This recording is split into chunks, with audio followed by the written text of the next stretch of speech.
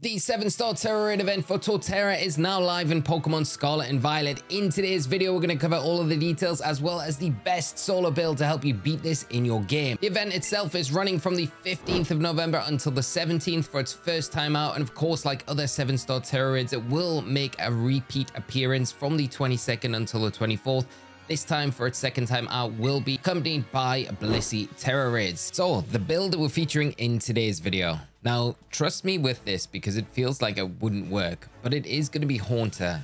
Ghost Poison type. It has the Tera typing of Grass. Eviolite is the held item. That's going to give you a defense boost and a special defense boost by 50% because you're holding it level 100 and hyper trained, of course. Now, the move set is going to be Clear Smog, Acid Spray, Nasty Plot, and then Giga Drain. Make sure that you do PP max the Giga Drain just in case you need to. EV spread is pretty straightforward 252 EVs in HP and in defense with a modest nature. The remaining EVs, of course, put into special attack. The big important thing here is its ability levitate, and we'll get into the raid now and I'll show you how you can easily solo 7 star Torterra with a Haunter. So when you first come into the raid, we're going to have a turn zero like we've not seen for a long time. The Torterra is going to launch off a Shell Smash that's going to boost its attack and its special attack and speed by two stages and give it a drop of minus one to its defense and special defense. Straight after this, it's going to nullify the stat drops on its side of the field, nullifying those drops just keeping the attack boosts that it's got. So hitting pretty hard, it's going to outspeed you as well. But turn one, we're going to lock in with a Clear Smog. That's going to wipe all of the boosts that the Torterra's just gained. Okay, so that's going to get rid of those. Now, you might be worrying here because it's just used Smackdown on us. So we're actually grounded. We don't have our Levitate ability anymore. But fortunately for us, the AI will never lock in with Earthquake and Earth Power. Even though we are grounded, it will still somehow register Levitate ability as being active and the only moves it will revert to using are going to be Smackdown and the Woodhammer throughout the entire raid. So we're kind of fine going ahead. So turn two, turn three, after we've used that clear smog, we're just going to go for those acid sprays. It's going to fire off the Woodhammers. It's going to fire off Smackdowns. We're fine. We can Terastallize on turn four. We're going to do that and we're going to launch off our third and final acid spray as well. Get it down to minus six special defense. So we're maxing it out. We're not going to set up our nasty plots yet because we're going to wait on the turn where it does nullify the stats and abilities on our side of the field. That'll then free us up to go for those nasty plots, get ourselves to plus six. We're then going to have to wait for it to nullify the stat drops on its side of the field. It's going to go for one more shell smash as well, but we'll get to that in a moment. So there we go with that last acid spray. And again, it's going to just revert to going for those smackdowns. Now, after we've used three acid sprays, we're going to lock in with a Giga Drain. Now it's going to nullify the stats on our side of the field, which is ideal. We'll lock in with that Giga Drain here just to recover some health as well and get some damage onto the field early on.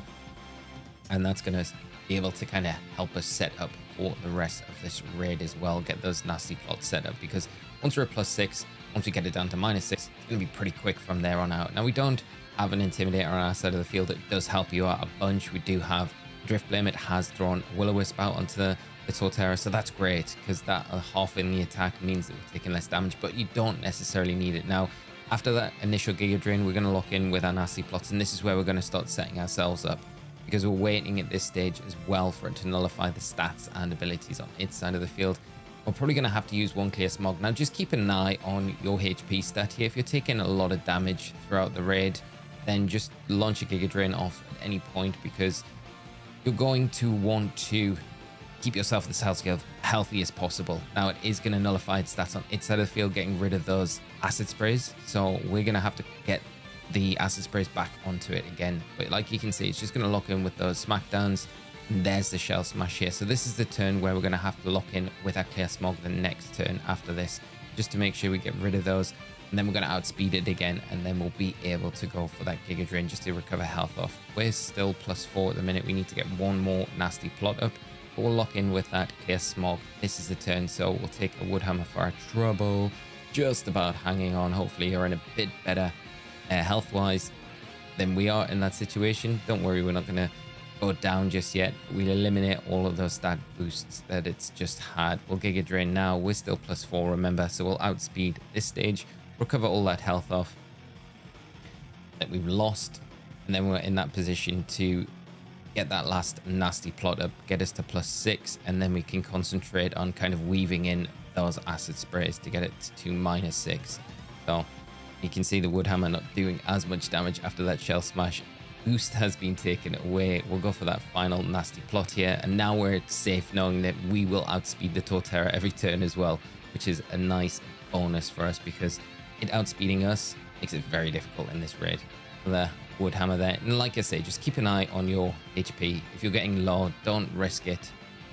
Uh, but we want to get those three acid sprays off once again. But that's all we're going to do. We're going to get those special defenses down to minus six. So we need three of them. And then after that, we're going to be able to lock this raid up. But like I say, when you're doing these acid sprays, you're weaving them in between Giga Drains because you want to keep yourself as healthy as possible. You don't want to get knocked out at this stage and lose your terastallization because losing your terastallization, the Giga Drain is not going to be as powerful.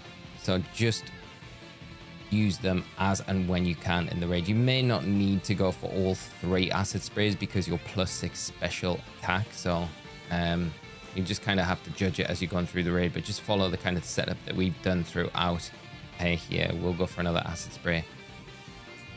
We're healthy enough to do so, of course. But as you can see, it's not locking in at all to the earthquake or the earth power. And I've ran this raid back through so many times just to make sure because I'm kind of unsure on putting this out because it just feels like it shouldn't work, but the AI just will not lock in to the Earth Power or Earthquake even after the Smackdown. So the whole resonance of the uh, the the move set doesn't really make sense because it kind of puts you off bringing those levitate users to the battle, but essentially um, you are kind of fine even if you do. So we'll have a look at the stats on the Torterra. It's minus six, we're plus six, and we'll be able to fire off that Giga Drain. And this should break the shield and put it in range for us to knock it out the turn after. And Although it is a slower setup, the raid time is still in a healthy position, and this is definitely faster than I think any of the other solo builds that I've seen so far.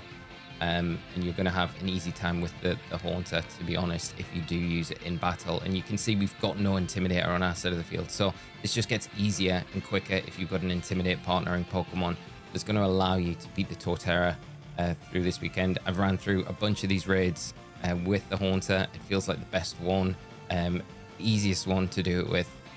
Just a little bit where you're going to have to change the terastallization type on it, um, but it's an accessible Pokemon that's available in the base games, and you're all going to have an easy time beating Torterra because the AI just will not lock in with the Earth Power and Earthquake. So it's the build to use. Let me know what ball you catch the Torterra in, and obviously we do have the Herba Mystica drops as well this weekend, so hopefully if you're farming it, you get lucky with those drops.